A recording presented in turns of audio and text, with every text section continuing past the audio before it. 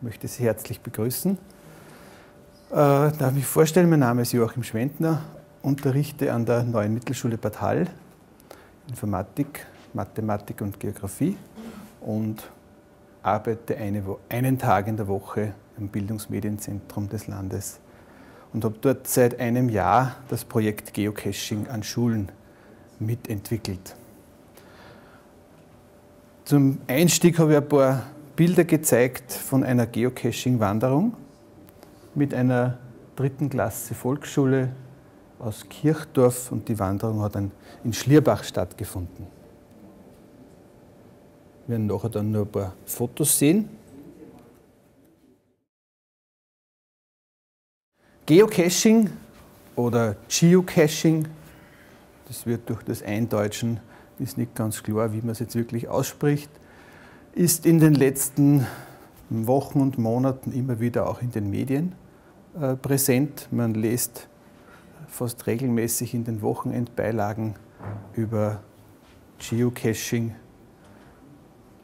Es wird von Tourismusverbänden äh, angewendet, damit die Gäste beschäftigt werden können. Und wir haben uns gedacht, dass es eine gute Möglichkeit wäre für Schüler, äh, erstens einmal einen Wandertag lustvoller zu gestalten, beziehungsweise den Schülern die Medienkompetenz äh, beim Umgang mit Navigationssystemen näher zu bringen.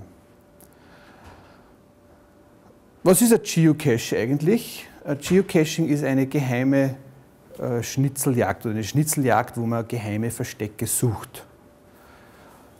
Schnitzeljagd kennen Sie sicher aus der Jugend. Man sucht irgendwelche versteckten Dinge, kriegt dann vielleicht einen Hinweis zu einem nächsten Punkt, geht dann weiter, bis man irgendwann einmal zu einem Endschatz kommt, den man dann heben kann. Genauso funktioniert Geocaching oder Geocaching.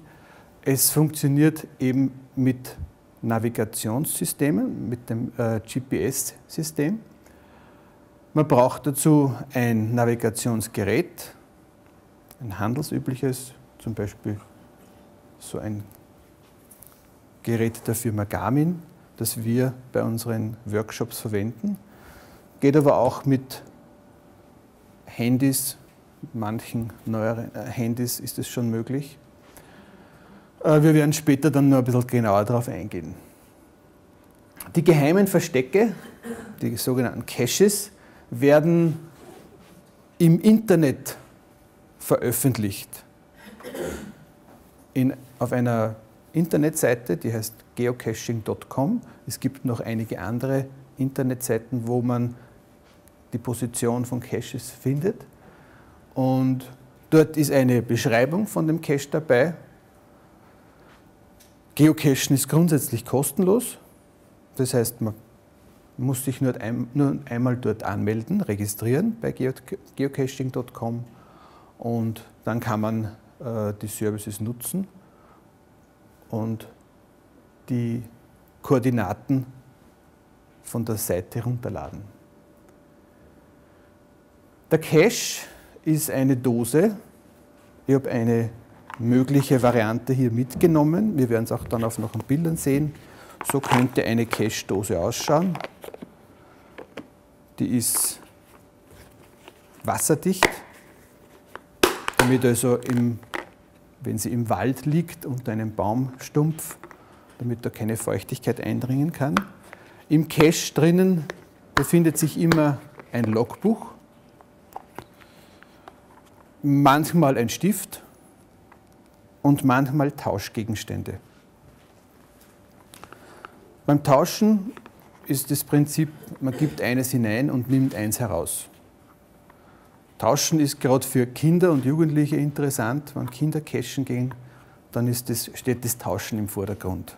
Wenn ich mit meinen Kindern, mit meinen beiden Söhnen cashen gehe, dann muss jeder was mithaben, weil es muss jeder natürlich etwas tauschen. Äh, es ist auch eine Erklärung drinnen, was das überhaupt soll. Wenn das jemand findet, der mit dem überhaupt nichts zu tun hat, dann kriegt er da eine Information dass das kein Müll ist, dass man das nicht wegschmeißen soll, dass das wem gehört, dass das Teil eines Spiels ist. Das ist eine Art der Caches. Es gibt viel kleinere, aber auch größere. Je kleiner die Dose ist, desto schwieriger findet man sie, ist, glaube ich, einleuchtend. In manchen Caches sind auch äh, sogenannte Trackable Items drinnen. Das sind einfach Schlüsselanhänger, Figuren, die eine so eine Marke dranhängen haben. Und anhand dieser Marke ist eine, da ist eine Nummer drauf, die ist eindeutig im Internet identifizierbar. Anhand dieser Marke kann man feststellen, wo ist der schon überall gewesen. Das ist der General Tom. Dann haben wir am Wochenende in meinem Cache, den ich versteckt habe, gefunden. Und der reist jetzt weiter. Wenn ich zum nächsten Cache marschiere und es ist eine groß genug Dose, dann werde ich ihn dort hineinlegen. Und man kann im Internet wieder weiter verfolgen, wo er hinwandert. Der hat schon 3500 Kilometer äh, zurückgelegt mit Hilfe der Cacher. Für Jugendliche und Kinder ist es recht interessant, wenn sie selber so einen Trackable Item auf die Reise schicken, wenn sie dann mitverfolgen können, wo ist der jetzt gerade. Und man kann dem eine, eine Botschaft mitgeben. Da bittet man eben darum, darum, dass zum Beispiel ein Foto gemacht wird, wo er sich gerade äh, befindet. Und bei dem steht auch noch dabei, wenn man im Internet nachschaut, drück mich. Das haben wir zuerst gar nicht gelesen. Und beim Frühstück dann hat mein kleiner Sohn zufällig draufgedrückt. Und wenn man da draufdrückt, ist es recht lustig. Ganze Kompanie, aufstehen! Los, ihr Weicheier! Kneift die Arschbacken zusammen! Und ob es euch schmeckt oder nicht, jetzt werden Weihnachtsgeschenke gekauft! Wegtreten! Er kommt aus Bayern, der General Tom.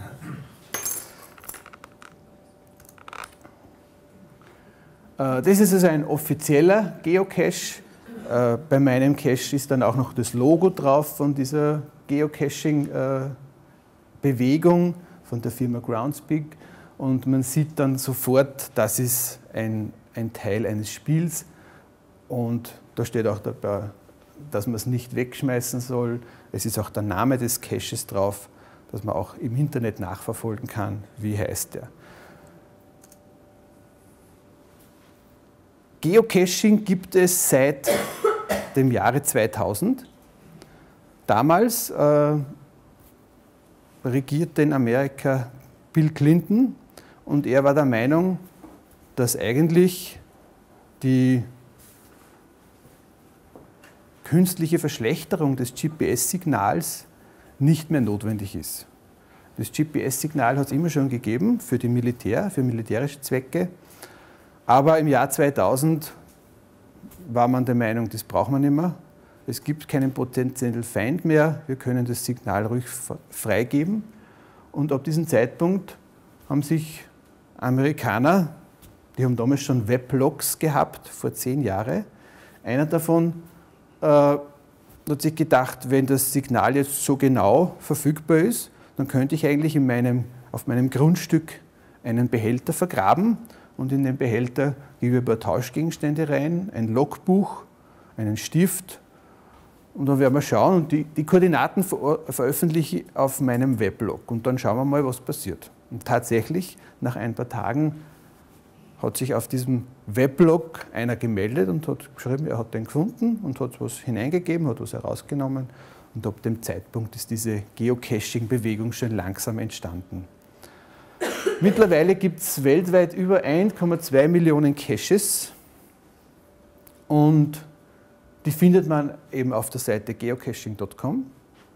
In Österreich, wenn man diese Suche auf Österreich äh, verfeinert, gibt es 18.000 und 2.000 in ganz Oberösterreich. Es gibt also eine gute Möglichkeit, wenn man Google Maps zum Beispiel aufruft, da kann man die Geocaching-Positionen anzeigen lassen. Also man glaubt gar nicht, an wie vielen Stellen man schon vorbeigegangen ist, wo überall ein Geocache liegt oder versteckt ist oder irgendwo oben biegt. Sehr viele Caches sind eben Metalldosen, die magnetisch sind. und die irgendwo an irgendwelchen Verkehrsschildern, Ampeln, dergleichen befestigt sind. Das sind eben dann ganz kleine Behälter, so wie ein kleiner Finger, so wie ein kleiner Finger in der Größe. Und da ist natürlich kein Tauschgegenstand mehr drinnen, sondern nur mehr ein kleiner Logbuchstreifen. Den zieht man dann raus und schreibt seinen Namen hin, das Datum. Und das ist der, der Akt des Loggens. Man hat dann praktisch den Cache gefunden, versteckt es wieder, so dass keiner mitbekommt. Das ist wichtig beim Geocachen, das ist ja etwas Geheimes. Und das versuchen wir auch den Schülern immer wieder bei den äh, Workshops äh, zu vermitteln. Geocachen ist was Geheimes, ein Abenteuer, das kann man nicht so hinausposaunen, da muss man auch vorsichtig sein, das sollen die Leute, die herumstehen, nicht mitbekommen. Das ist ein ganz wichtiger Punkt.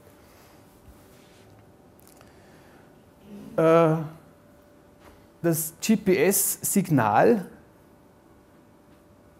aus den USA wird also GPS genannt, äh, kommt seit 1950 von den Satelliten. Es schwirren da um 20 bis 24 Satelliten, geostationäre Satelliten, also sie sind immer an derselben Position, äh, sind am Himmel positioniert. Man kann das auf diesem Bild sehr gut erkennen. Die Satelliten hier, die die ganze Erde, die ganze Erdoberfläche abdecken. Und bis 1950, äh, seit 1950 gibt es es und bis 2000 waren es eben nur für militäre Zwecke verfügbar, militärische Zwecke.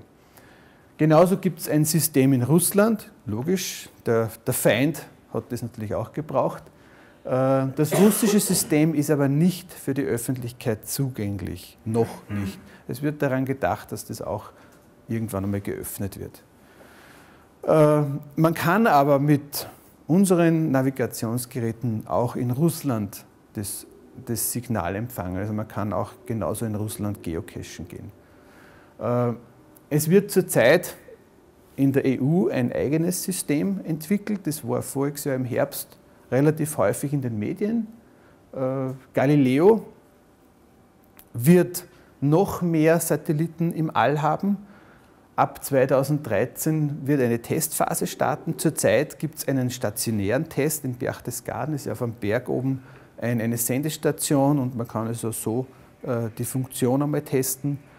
Äh, wenn aber jetzt das in einer Testphase dann wirklich flächendeckend abläuft und wenn es dann ab 2018 wirklich in Echtbetrieb geht, dann wird wahrscheinlich auch die Wirtschaft so weit sein, dass in jedem, in jedem nur erdenklichen Gerät ein GPS-Modul drinnen ist und man wird überall seine Daten praktisch hinterlassen, seine Spuren hinterlassen. Fotoapparat gibt es jetzt schon sehr viele, die das eingebaut haben. Äh, ist natürlich praktisch, wenn ich eine Vielzahl von Fotos habe und ich weiß immer sofort, wo war das Foto, hat einen Sinn. Nicht?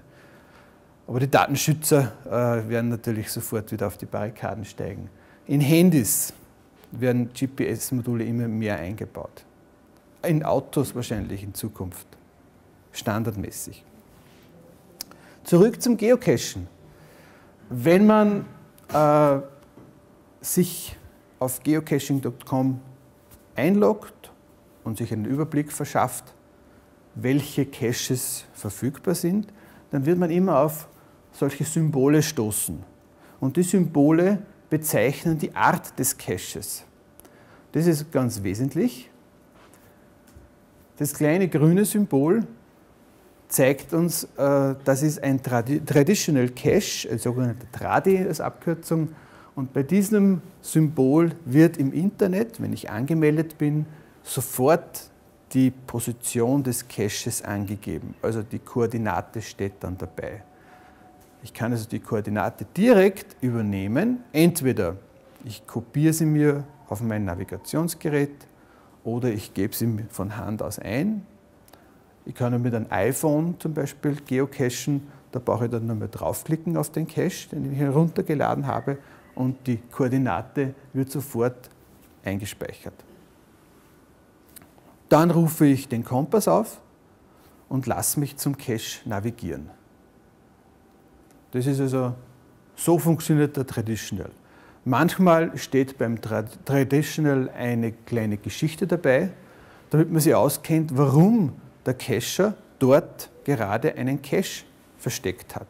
Ja, Geocacher machen das sehr häufig, weil sie jemanden auf einen Platz aufmerksam machen möchten. Ein Lost Place, Lost Places gibt es sehr häufig, so Städten oder Orte, die man oft gar nicht mehr so genau weiß, wo eine Geschichte dahinter steht. Die Geschichte kann man dann im Internet eben nachlesen und durch den Geocache wird man zu diesem Ort hingeführt. Die zweite Gruppe, die gerade für uns äh, sehr interessant ist, für uns, die wir das Projekt gestaltet haben, äh, das sind die Multicaches. Und zwar haben wir beim Multicache den Effekt dabei, dass der Schüler etwas lernen kann, sich Wissen aneignen kann, dadurch, dass er etwas lesen muss, etwas genau recherchieren muss, etwas abzählen muss, äh, etwas genau betrachten muss. Bei den Multicaches wird nicht die Koordinate des, der Dose im Internet bekannt gegeben, sondern man findet dort eine Startkoordinate und dort beginnt dann zum Beispiel eine Cache-Wanderung. Und man wandert, so wie bei der Schnitzeljagd, zum ersten Punkt und dann muss man eine Aufgabe lösen. Die Aufgaben sind verschiedenster Art. Das kann also sein von irgendwelchen äh, Zählaufgaben über Lesen und etwas herausfinden, etwas umrechnen. Wenn ich dann eine Aufgabe erfüllt habe, dann geht es zum nächsten Punkt weiter. Und zum Schluss kriege ich eine Summe oder eine, eine Liste von Zahlen, die in Variablen versteckt sind. Und diese Zahlen setze ich dann in eine Rechnung ein und nach dieser Berechnung erhalte ich eine Koordinate.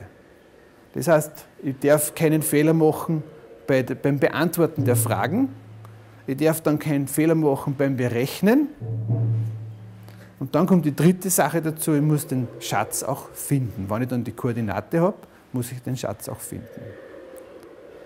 Es ist relativ spannend und macht den Schülern unheimlich viel Spaß. Allein das Fragen lösen, aber nicht nur den Schülern. Ich habe mit Lehrern schon einige Seminare gemacht und denen hat es auch total gut gefallen.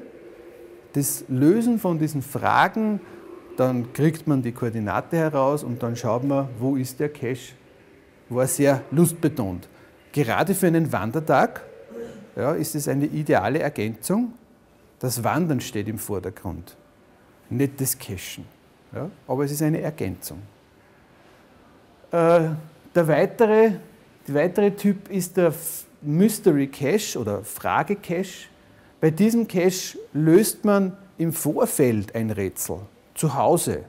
Man braucht da nicht draußen zum Rätsellösen beginnen, sondern das macht man bereits am Computer, recherchiert im Internet, löst das Rätsel, kriegt dann eine Koordinate, wenn man es gelöst hat. Meistens kann man auch die Lösung vorher schon überprüfen, ob man richtig liegt. Und wenn man die Koordinate dann hat, dann kann man losmarschieren und den Schatz suchen. Der vierte Punkt wären sogenannte Event Caches wenn sich Geocacher treffen, Geocaching ist sehr häufig eine Angelegenheit, die man nicht alleine macht, sondern in einer Gruppe, in kleineren Gruppen. Äh, wenn sich die treffen zu Gedankenaustausch, dann werden diese Treffpunkte auch als Cache äh, gelistet und das sind dann die sogenannten Event-Caches. Und bei größeren Zusammenkünften, es gibt also jährlich in Österreich so ein, ein Mega-Event, da treffen sich bis zu 1000 oder sogar über 1000 Geocacher. In Salzburg findet es meistens statt. Äh, das ist dann eben das Mega-Event, sonst ist es nur ein kleines Event. Für, Im Mai feierte man ja zehn Jahre Geocaching, Mai 2010, und da gab es auch in Oberösterreich ein großes Cacher-Treffen am Attersee. Zwei Gruppen gibt es noch, äh, das ist der Earth Cache und Where I Go. Der Earth Cache ist gerade für Geografen und Geologen und Biologen interessant. Da geht es nämlich um geografische oder geologisch interessante Stellen in unserem Bundesland. Natürlich Earth Cache auf der ganzen Welt. Bei einem Earth Cache findet man keine Dose, da braucht man nichts tauschen, sich nirgends eintragen, sondern beim Earth Cache, den besucht man, informiert man sich. Für Schüler kann ich das vorher schon vorbereiten. Äh, und beim Earth Cache schicke ich ein Foto dem Eigentümer des Caches und ich muss meistens auch noch ein paar Fragen beantworten, die der Eigentümer in seinem Listing gestellt hat. Die kann ich oft nur beantworten, wenn ich wirklich dort war. wenn ich die Fragen beantwortet habe und dann das Foto abgeschickt habe, dann kriege ich einen Logbucheintrag. Und Where I Go Cache, das ist ein, äh, eine Art Adventure-Spiel.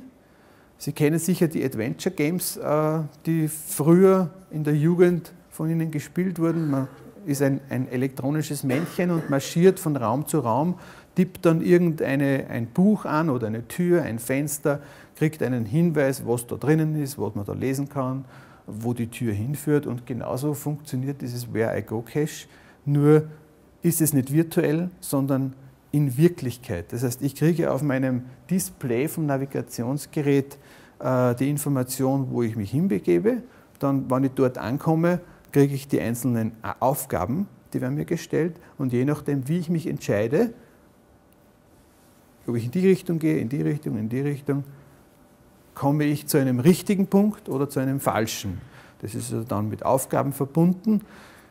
Äh, der Nachteil bei den Where I Go Caches, sie funktionieren nur mit, ein, mit geeigneten Geräten. Das Garmin Oregon wäre so ein Gerät.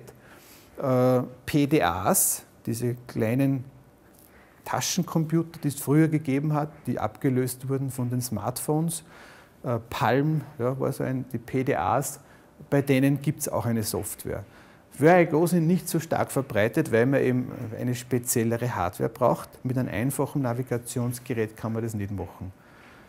Ist ich lade mir das vorher drauf und das ist quasi der, der nur weil ich bei der Konaten bin. Also Richtig, das genau. Ist, dass ich da quasi dann aus dem Internet die Lösung, den nächsten Hinweis kriege. Nein, nein, nein. Also nein. das das Gerät quasi. Ja, genau, das ist alles dann da drauf. Das File ist natürlich wesentlich größer äh, als ein normales GPX-File das lade ich da drauf und dann marschiere ich mit den Informationen, die ich am Display habe. Da können sogar Bilder, Töne drauf sein. Ja?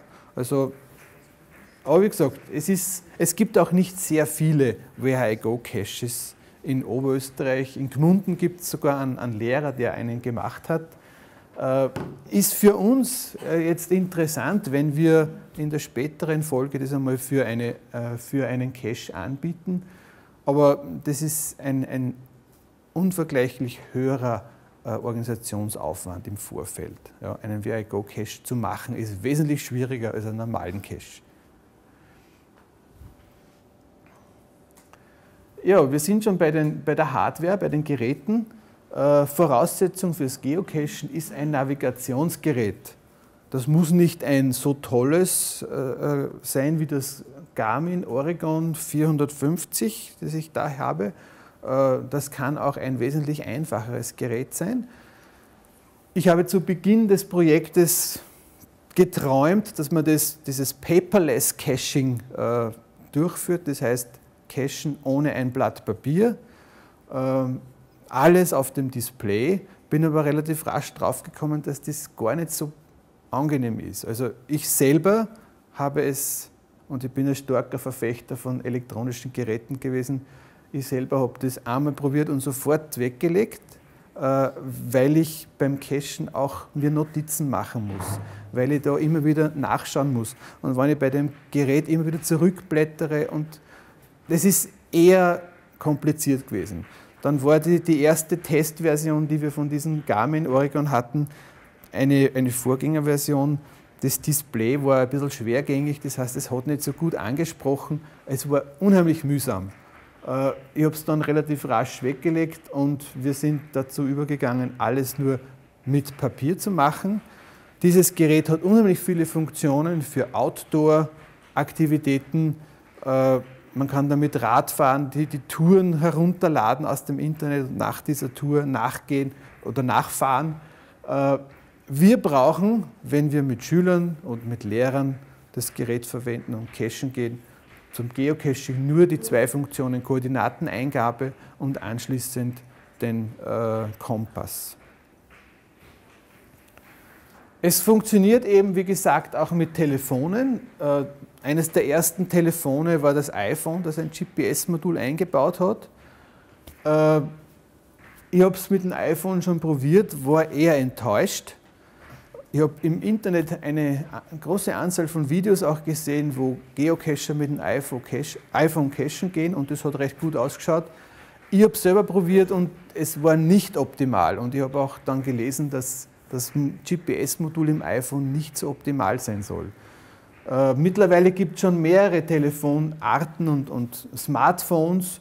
Das HTC, HTC zum Beispiel äh, hat ein sehr, das ist wesentlich billiger als das iPhone, hat ein sehr gutes GPS-Modul. Mit dem habe ich schon wesentlich bessere Erfahrungen gemacht. Meine Schüler, zwei von meinen Schülern habe ich so begeistert, die gehen jetzt privat cashen, die haben sich angemeldet und denen gefällt das so, die machen das mit einem ein Nokia-Telefon. Äh, haben sich die Software runtergeladen. Da brauche ich eine Software fürs Cachen. Äh, die kann man aus dem Internet runterladen. Die kostet manchmal gar nichts. Für das HTC zum Beispiel äh, ist die kostenlos. Fürs iPhone kostet sie 7,99 Euro. Aber ich brauche irgendeine Software dazu, damit ich die Koordinaten eingeben kann. Ja, in der Schule, die Einsatzmöglichkeiten äh, haben wir schon kurz angedacht, also am Wandertag. Der Wandertag erfährt durch das Gehen mit einem Navigationsgerät ganz eine andere Dimension. Das Wandern wird einfach lustvoller erlebt. Ich habe das mit Schülern probiert die schauen immer wieder aufs Display, wie weit habe ich noch? Und sie sehen, das wird immer weniger. Ja? Es ist wirklich lustig gewesen. Während einer Projektwoche, eine Kollegin äh, aus Everding hat eine Projektwoche durchgeführt und hat sich den ganzen Koffer ausgeliehen mit den fünf Navigationsgeräten und die haben äh, auf der Projektwoche Orientierungslauf mit den Schülern gemacht und dazu die Navigationsgeräte verwendet. Ich kann aber gleichzeitig auf einer Projektwoche einen Cache, eine Cache-Wanderung durchführen. Es gibt unheimlich viele Geocaches in ganz Oberösterreich, auch in Gegenden, wo wir unsere Projektwochen durchführen. Und gerade in einer Projektwoche gibt es eine gute Möglichkeit, auch selber mit den Schülern gemeinsam einen Cache zu verstecken. Dass man überhaupt einmal in die andere Rolle schlüpft, selber, ich verstecke selber einen Cache, überlege mir, wie komme ich zu den Koordinaten, wie kann ich die Koordinaten veröffentlichen, vielleicht sogar einen Cache mit mehreren Stationen, sodass die andere Gruppe, eine Gruppe versteckt den Cache, die andere sucht ihn. Das kann man dann in, in, in Form von zwei Gruppen durchführen. Äh, wäre eine gute Möglichkeit auf einer Projektwoche äh, durchzuführen. Wir bieten vom äh, BIMETS Workshops an, sowie Podcasting oder, oder Trickbox. Das heißt, da kommt ein Betreuer an die Schule, ein Mitarbeiter von BIMETS, der erklärt den Schülern zuerst einmal, wie das Navigationsgerät funktioniert dann zeigt er einen, wie man sich im Internet, wie man im Internet Koordinaten eingibt, wie man sich die Koordinaten aus dem Internet ansehen kann, wie das in Google Maps funktioniert. Nach dieser Einschulung, die im Computerraum stattfindet, äh, marschiert der mit den Schülern dann zu, einer, zu einem ausgewählten Cache. Die Caches wurden ausgewählt äh, nach äh, Gesichtspunkten kann ich die im Unterricht verwenden. Das heißt, es werden Themen verwendet, Heimatkunde, Brauchtum, religiöse Themen, wenn ich einen, einen, einen Cache suche bei einer Kirche. Sehr viel geografische Themen sind dabei. Wenn diese Wanderung dann durchgeführt wird, äh, die Wanderung findet nicht am Schulort statt, das muss ich auch noch vorausschicken. Also Geocaching mit Schülern ist immer circa 20 Kilometer vom, mindestens 20 Kilometer vom Schulort entfernt. Wir wollen also verhindern, dass Schüler dann die das nicht so toll finden oder die sich dann eine Gaudi draus machen, nachher den Cache mit Freunden aufsuchen, ihn entwenden oder vielleicht die Position anderen Menschen mitteilen. Die anderen Menschen, die vom Geocaching nichts wissen, die haben ja eine besondere Bezeichnung. Die heißen wie beim Harry Potter die Muggels. Also man soll ja immer darauf achten, dass man beim Geocachen das so geheim macht, dass die, die nichts davon wissen und keine Ahnung haben, nicht irgendwie misstrauisch werden oder was dann die da. Ja? Also die, das Geheimnisvolle steht da ein bisschen im Vordergrund. Und das funktioniert auch mit den Schülergruppen sehr gut. Äh, ich habe eine, eine Art Google Maps Rallye zusammengestellt, die kann man sich auf unserer Webseite runterladen. Das ist ein Arbeitsblatt, das kann der Lehrer im Vorfeld äh, bereits mit den Schülern durchmachen. Er kann dadurch äh, die Arbeit mit Koordinaten, das Umgehen mit, mit Karten im Internet etwas schulen und bereits im Vorfeld die Schüler äh, auf, auf, auf, auf, auf das Thema einspielen. Ja, das wären meine Ausführungen zu diesem Thema. Wir sind in Rohrbach cashen gegangen mit einer Schulgruppe. Ich war mit einer Schulgruppe bereits in Linz cachen. Da haben wir also wirklich ausgewählte Caches verwendet. Der eine heißt Ich stehe auf Linz. Das ist im, im Linzer Rathaus, im alten Rathaus, eine riesengroße äh, Satellitenaufnahme von Linz. Da kann man wirklich auf Linz drauf stehen. Man lernt dadurch Linz ein bisschen besser kennen, man lernt die Entfernungen abzuschätzen, man lernt sich ein bisschen zu orientieren und die Fragen zielen auf genau das aus. Wenn man die Fragen dann richtig beantwortet hat, dann gibt man die Koordinate ins Navigationsgerät ein und die Schüler sind dann in kleinen Gruppen zu fünft äh, losgegangen und haben geschaut, wo befindet sich der Cache. Also eine geführte Cache-Wanderung findet an ausgewählten Plätzen, an ausgewählten Orten statt. Äh, in Rohrbach haben wir das auch gemacht. Der Film, den Sie vielleicht schon oben gesehen haben, beim BIMET-Stand, äh, der auf unserer Homepage auch sich befindet, dieser Film wurde in Rohrbach erstellt. Da haben wir zwei, drei Caches eigentlich gesucht. Ja. Ja, kennen Sie die, die Projektseite Heimatschatz.at oder Heimatschatz? Dann stelle ich die noch kurz vor. Ja? Wie gehen Sie um mit dem möglichen Frustrationspotenzial, einen Cache nicht zu finden? Oder gehen Sie nur zu Caches, die Sie vorher schon wissen? Genau, wir, wir besuchen Caches, die wir vorher zuerst einmal getestet haben und der Mitarbeiter hat erstens einmal alle Fragen, alle Antworten parat, damit es nicht passieren kann, dass der Cache nicht gefunden wird. Trotzdem kann ich es nicht garantieren als, als Lehrer, Mitarbeiter, äh, Trainer, dass der Cache wirklich vorhanden ist. Warum kann ich es nicht garantieren? Er kann vorher entwendet worden sein.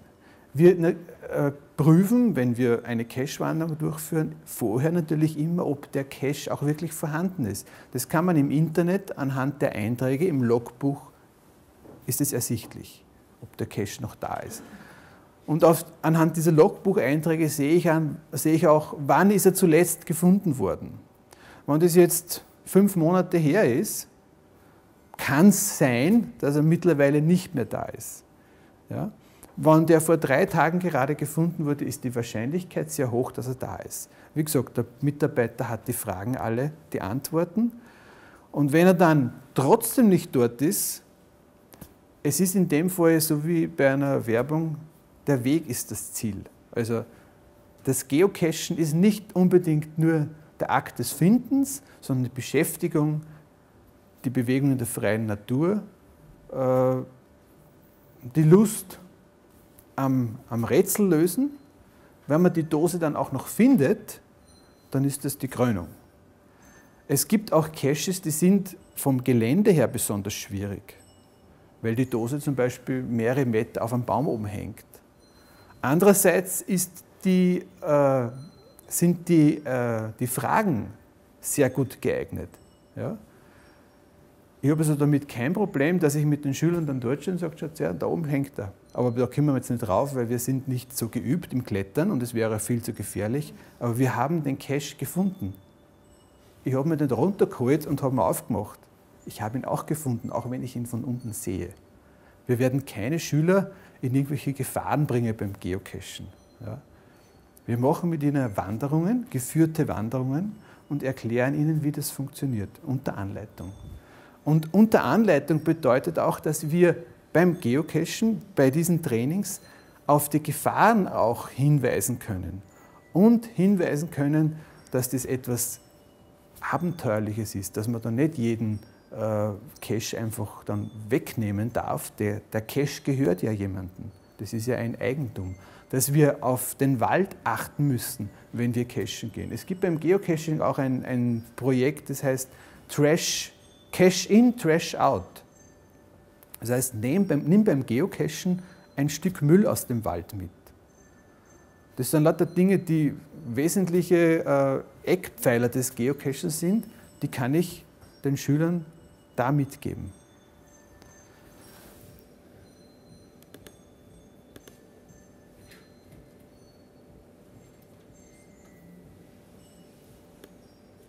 Ja, es schaut also die Seite schaut so aus. Zu Beginn eine, einige Schülermeinungen von meiner Klasse, die das in den, in den letzten zwei Jahren äh, erlernt und durchgeführt hat. Dann einige Informationen, was Geocaching für Schüler bedeuten kann. Eine Auflistung von Fachbegriffen und Abkürzungen.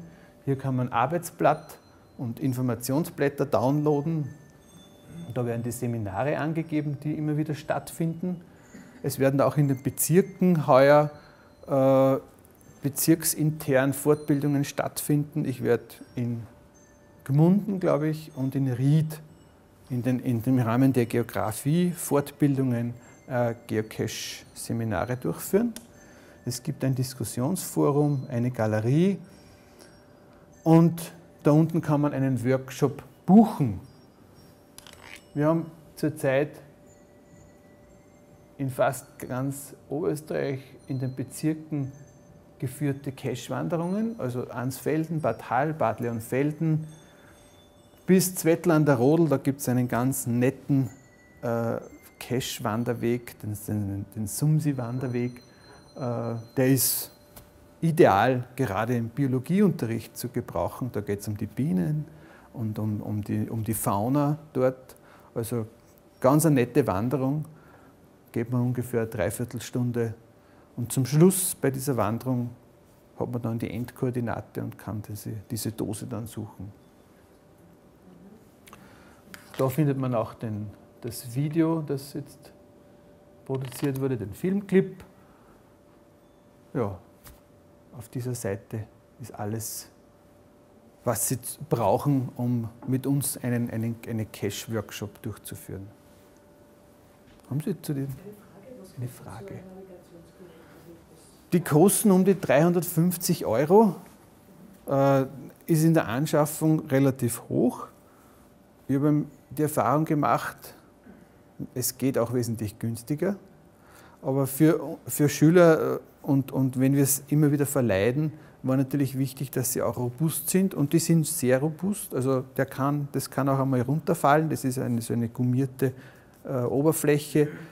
Es kann auch feucht werden und das ist gerade wichtig beim Cachen, wenn es ein bisschen regnet. Ke beim Cachen äh, entsteht nämlich ein, ein, ein seltsames äh, Detail am Rande. Schüler wollen dann auch hinausgehen oder Kinder oder Jugendliche, wenn das Wetter schier ist. Da ist dann gar nicht mehr so wichtig, dass es regnet.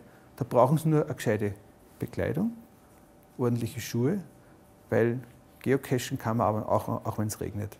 Und da muss das Cache-Gerät natürlich auch das GPS-Gerät. Sie bieten das für Oberösterreich an oder dann in ganz Österreich? Nein, Oberösterreich. Das ist eine, ein Projekt, das wir in Oberösterreich jetzt entwickelt haben. Wenn sich andere Bundesländer dafür interessieren, dann müssten sie selber äh, aktiv werden und das auch entwickeln. Wir haben auch vor, eigene Caches für unsere Schüler, themenbezogene Caches zu erstellen. In der ersten Phase haben wir aber gesehen, es gibt so viele ungeheure gute Caches, die gerade für Schüler ideal sind. Ich denke jetzt an den Anton Bruckner Symphoniewanderweg in Ansfelden. Ich kann Musik fächerübergreifend ideal kombinieren. Musik, Wanderweg, neue Medien, neue Techniken. Warum sollte ich diesen Wanderweg mit einem eigenen Cache noch einmal machen, wenn es ihn schon gibt? Ja? Äh, und so, so gibt es eine Vielzahl von Caches, die haben wir also herausgesucht und diese, diese Auflistung sehen Sie hier, da gibt es also gute Caches, die für unsere Schüler geeignet sind, aber wir möchten eigene Caches selber produzieren, ja, zu bestimmten Themen. Bitte? Unter welchen Owner-Namen macht ihr dann die Caches? Bimax wahrscheinlich, weil das Männchen von, von Bimetz heißt Bimax, weiß ich noch nicht, aber es wird sicher irgendein ein Name sein, wo eindeutig ist, dass das unsere Caches sind. Sie werden auch den Namen, im Cache-Namen wird es schon drinnen stehen, das ist ganz klar. Wir haben am Anfang daran gedacht, dass wir die Caches nur auf unserer Seite, nur für uns äh, anbieten. Wenn es aber gut gemachte Caches sind, sehe ich überhaupt keinen Grund, warum wir das der Öffentlichkeit, den Geocachern nicht auch anbieten sollen. Warum sollen nicht auch andere Jugendliche, die vielleicht mit dem jetzt dem Projekt nichts zu tun haben, äh, diesen Cache suchen können. Wenn er gut wird. Dann müssen, dann müssen die äh, Tests äh, durchgeführt werden und die anderen Geocacher sollen sich den anschauen. Und wenn das passt, dann wollen wir ihn auch veröffentlichen. Sie haben vorher ganz am Anfang gesagt, dass, die, dass man die Caches im Google Maps findet. Aber nicht direkt natives Google Maps, sondern nur wenn ich über geocaching.com hineingehe. Genau. Weil das, das geht mir schon lange ab. Ich kann nicht in Google Maps direkt einen Layer Caches einblenden. Mhm, nein, das kann ich in Google Earth. Da gibt es einen Layer. Ja? Für Google Earth gibt es das. Das kann man sich runterladen und wenn ich dann draufklicke, also wenn ich dieses, dieses Symbol anklicke, dann werden plötzlich alle Caches angezeigt. Ich kann es dann nachher zeigen am Rechner. Ja. Dieser, diese Wandermarke, die ihr General Top, ja. wie, wie startet denn das los? Wo, wo kriegt man dann solche Marken? Ja, also Geocaching.com ist ja von einer, geht ja von, glaube ich, von amerikanischen Studenten aus, die dann diese Firma gegründet haben, also von Geocachern. Äh, die Firma heißt Groundspeak und die betreibt die Webseite und sie vertreibt Produkte dazu. Das heißt, wenn man so einen, ein trackable Item möchte, muss man sich das dort kaufen. Dort ist eben die, die Nummer eingraviert, die ist eindeutig identifizierbar. Und wenn ich äh, mir ein, einen Gegenstand jetzt herrichte und den Trackable Item draufhänge, dann trage ich seine Nummer im Internet ein und somit ist er verfügbar im Netz. Und dann kann man herausfinden, wo befindet er sich gerade. Ja? Und da gibt es also Trackable Items, die sind schon mehrere hunderttausend Kilometer durch die Welt gereist. Ja? Und das Schöne ist, ich kann ihm dazu schreiben, äh, mach überall dort, wo du bist, lass dich fotografieren. Und für, für den Jugendlichen oder für den Schüler wird dann das viel erlebbarer. Wo befindet er sich gerade? Ich schaue jetzt, wo ist er gerade? Und dann ist wieder ein Foto dabei. Wie schaut es dort aus? Also es wird greifbarer. Ja? Bitte. Was heute ist ideal für Kunden Geocaching, beziehungsweise was ist die Erfahrung?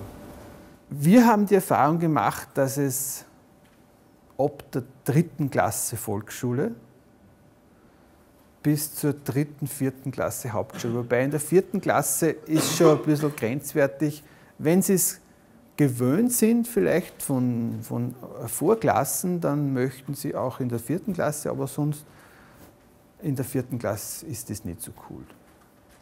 Da habe ich eher die Erfahrung gemacht, muss nicht sein. Vielleicht äh, ist es von Klasse zu Klasse verschieden. Wenn der Lehrer das so transportiert, weil das sein Hobby ist und weil, das, weil er da selber schon gute Erfahrungen gemacht hat, möglicherweise geht es dann genauso gut. Aber ich habe die besten Erfahrungen gemacht und in der dritten, der zweite, dritte waren alle begeistert. Durch die Bank. Das hat einer alle taugt. Auch die, die normal mit dem nichts zu tun haben. Ein Jahr später war nur mehr ein Teil der Schüler wirklich hoch interessiert. Die anderen sind nicht mitgegangen. Ist auch kein Problem. Ein, ein Wandertag, äh, da steht das Wandern im Vordergrund. Ja? Und eine Gruppe, wir haben sowieso nur fünf Geräte mit, eine Gruppe nimmt halt diese Geräte und äh, bei denen steht das, der Umgang mit dem Gerät im Vordergrund. Die Klasse geht als ganze Klasse, ist natürlich von der Aufsichtspflicht ein wesentlicher Punkt. Haben wir uns am Anfang überlegt, wie, wie können wir das lösen. Und ich bin aber sehr rasch draufgekommen, dass es überhaupt kein Problem und kein Thema ist, wenn da fünf gemeinsam arbeiten und sich gemeinsam dieses Navigationsgerät teilen und sozusagen äh, jetzt gemeinsam suchen. Es, ist, es entstehen so kleine Grüppchen. Einer ist der, der es immer halten darf, das wird dann einmal weitergegeben.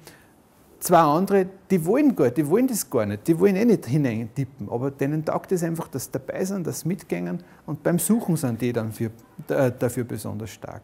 Also ich habe mir da zuerst eher gedacht, das wird ein Gerangel werden, wenn nur fünf Geräte da sind, war überhaupt nicht der Fall. Weder bei den ganz Kleinen in der dritten Klasse, nur bei den Hauptschülern. In der dritten Klasse, da habe ich keine ausführliche Anführ äh, ähm, Anleitung gemacht im Computerraum. Da sind wir, die Fotos von, von, am Anfang, da sind wir beim Parkplatz gestanden, beim Spätz in Schlierbach und ich habe die Geräte erklärt und das war die ganze Einführung. Ähm, die haben natürlich noch einen eingeschränkten Zahlenraum. Das habe ich nicht so bedacht. Ich habe ihnen erklärt, ihr müsst da 378 eingeben. Die Lehrerin hat mir dann nachher gesagt, sie, haben nur, sie sind erst bei 100. Also Nachher habe ich dann gesagt, gib ein, drei, vier, sieben, dann war alles klar. Aber auch diese Kinder haben das sofort begriffen und haben sofort damit umgehen können. Und es war auch lustig. Es hat fünf gegeben, die waren begeistert, die sind dann vorn gewesen, weil sie haben das Gerät gehabt. Äh, die anderen sind ganz normal wandern gegangen. Es war kein, wie man sich das so vorstellt, ein Massenauflauf, wo dann zig Schüler da hinstürmen und, und etwas suchen. Das ist ganz ruhig abgegangen. Der Erste, der dort war, hat es dann gefunden, gleich habe ich gesagt, was, was, warte noch. Die anderen möchten auch dann suchen, wenn sie daherkommen, weil die kommen nicht alle auf einmal, kommen nach der Reihe. War wunderbar. Und so ist eigentlich bei allen Wanderungen bis jetzt die Erfahrung gewesen, dass das sehr angenehm abgelaufen ist. Noch eine Frage zur Software. Wie stabil ist da die Software? Ich habe nämlich das äh, Oregon 20 und da gibt es diverse Probleme. Gibt es da keine bei Updates und so weiter? Es hat bei dem letzten Update ein Problem gegeben. Äh, ich habe das Update gemacht. Wir haben zehn Geräte. Acht sind wunderbar gegangen. Bei zwei ist das Gerät dann nicht mehr gegangen. Dann habe ich nachgelesen, nachher, war blöd von mir, habe nachgelesen, da ist eh drin gestanden, das Update ist sehr schlecht und also man sollte warten auf das nächste. Ich habe dann die Geräte eingeschickt, habe ein neues Gerät bekommen äh, mittlerweile habe ich gelesen, gibt es wieder ein neueres Update, das die letzten Probleme beseitigt. Ja, ich denke mal, wir verwenden ja nur Kompass und Position. Eigentlich brauchen wir es gar nicht updaten, weil für das ist das Gerät optimal. Ich habe keine Ahnung, wie andere, also ich habe mit anderen Geräten auch nicht gecached. Ich habe nur von anderen Kollegen, von Lehrern, die einfach selber Navigationsgeräte haben, schon länger und wesentlich ältere Geräte sind, die das genauso verwendet haben. Und das hat, hat, hat auch funktioniert. Also einfachere, billigere Geräte. Aber wie gesagt, ich kann das nicht beantworten, weil ich es nicht weiß. Das Witzige bei Garmin ist, ich habe zwei bauart gleiche Geräte. Mhm. Das eine funktioniert tadellos ja. mit den Updates und das andere überhaupt nicht. Ja. Das hängt sich ständig auf. Mhm. Und da ist dann relativ kompliziert, das ja. in den Stand zu setzen. Ja. Ja, nein, es ist ja klar. Aber Garmin ist einfach dieser, ein, ein, ein Weltmarktführer. Die, die beherrschen ja diesen Markt. Ja. Aber wie gesagt, probieren, wenn Sie wirklich vorhaben, das einmal zu machen, leihen Sie sich ein Gerät aus, nehmen Sie Kontakt mit einem auf, der es schon hat, gehen Sie nicht alleine cashen. Wenn Sie es alleine mal machen wollen, machen Sie es nicht alleine. Es ist die Frustration zu groß, wenn man nicht findet. Ich, ich war von, November, von September bis Jänner frustriert. Ich habe nichts gefunden. Und ich habe mich mit den Kasteln nicht auskennt, das war furchtbar. Und dann bin ich mit einem Kollegen gegangen und plötzlich ist das in Schwung gekommen. Also das hat wirklich einen anderen gebraucht, der mir das gezeigt hat. Das alleine zu machen ist nicht optimal, würde ich sagen, gerade fürs, für den Beginn. Und man kriegt dann auch Tipps von einem äh, Cacher, der das schon gemacht hat. Das ist auch ganz wesentlich. Und probieren Sie es mit einem Handy. Wenn Sie ein, ein, Handy, ein neueres Handy haben, die Software ist ja kostenlos zum Teil. Ja. Bei Android zum Beispiel gibt es da lauter Software, die man sich gratis runterladen kann. Und das ist bis auf drei, vier Meter genau. Also die Genauigkeit ist ausgezeichnet. Sie können gerne die Geräte testen da vorne. Wir haben darin keinen Satellitenempfang, das ist eh klar. Aber was alles drauf ist, gerne. Darum habe ich die fünf hergelegt. Und wenn Sie noch Fragen haben, ich bin nur Zeitl da. Dankeschön.